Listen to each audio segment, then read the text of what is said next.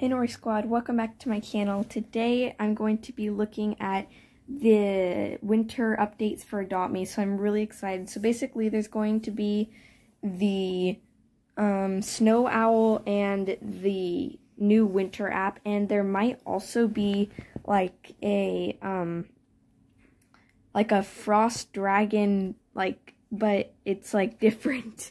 Um, it's basically a different frost dragon. It kind of looked like in the background, but I'm not sure if it's actually going to be a pet or it's just going to be in the background. Anyway, um, so yeah, that's just a view of, um, it right, like the map right there, and it looks like there's a little castle in the background. And oh my gosh, there's a snowy owl. It's so cute. I like the colors that's on it. And it's it's much different from the other owl because the other owl I don't think had like feathers, lot of lots of feathers like that.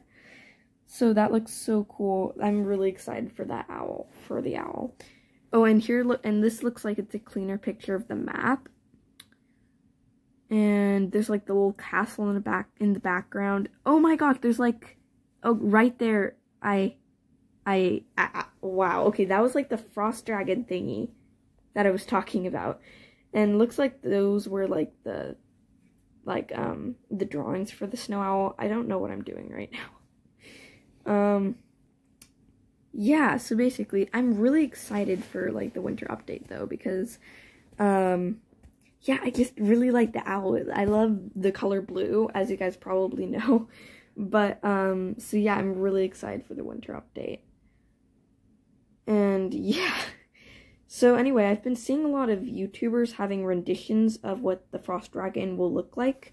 So, we're just going to go to YouTube and look up what some of those look like. Okay, so I'm just looking up, um, like, because I've heard them calling it the Chinese Frost Dragon and Adopt Me, like the new thing coming to Adopt Me. So, okay, so it looks like there's like, um, like there's a cartoon there and, um, one that someone actually thinks it'll look like. Megan Plays is posting Gaming with Ares. And, um, yeah, so that's interesting. I'm really excited for the update, actually. Well, anyway, guys, that's all we have for today's video. Make sure to like, subscribe, and I'll see you guys next time. Bye!